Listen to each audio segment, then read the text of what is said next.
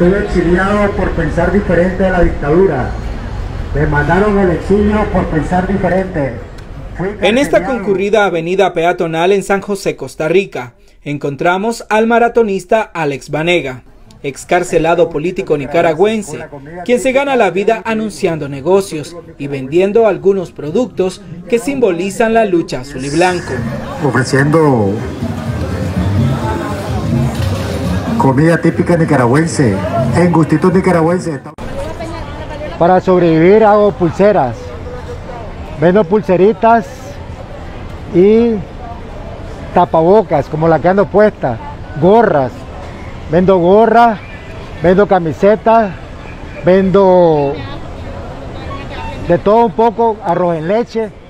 Vanegas, de 64 años, llegó a Costa Rica el 13 de marzo del 2019, luego que fue excarcelado.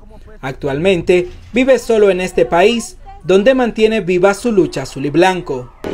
Estos cuadros los hago por mi manera de luchar. Soy pintor azul y blanco. Trato de hacer todo en azul y blanco, pidiendo siempre la libertad de nuestros hermanos presos políticos y nuestros hermanos asesinados.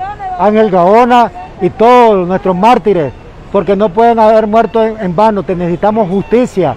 De la justicia se deriva el resto, la paz. El caso de Alex Vanegas es el reflejo de centenares de nicaragüenses solicitantes de protección internacional, que a falta de empleo enfrentan diferentes problemas para poder sobrevivir aquí. Gerald Chávez, Nicaragua actual.